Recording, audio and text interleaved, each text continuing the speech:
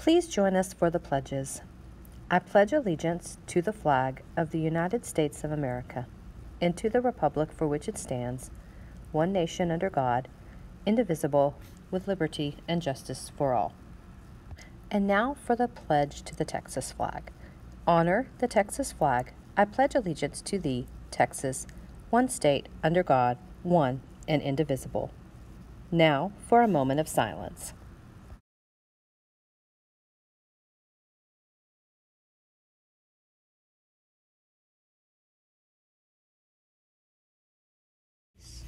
Good morning, Nance Eagles. Eagles. Happy Thankful Thursday. Today is Thursday, September 15th. Who are you thankful for today? Spread some kindness all around Nance today.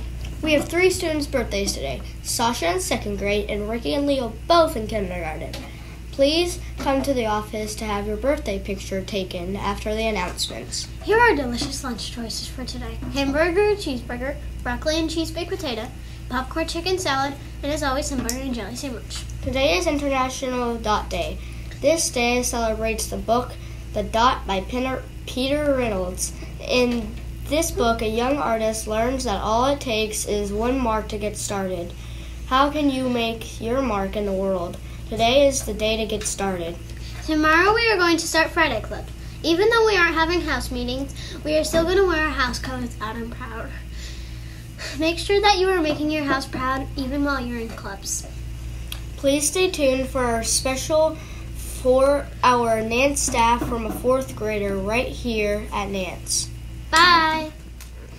Hello, I am Calypso, and I have a really special note for all the staff that I made. So, thank you for being a great team working hard to make us learn and grow.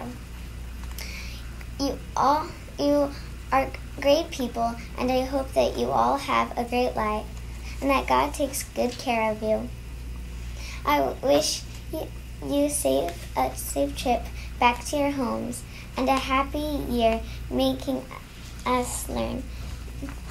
Even though I am just a kid, I am sure that you all will have a great life. Again, thank you for thank you for loving us, teaching us, and making us happy, and so much more. You all make this school such a happy place.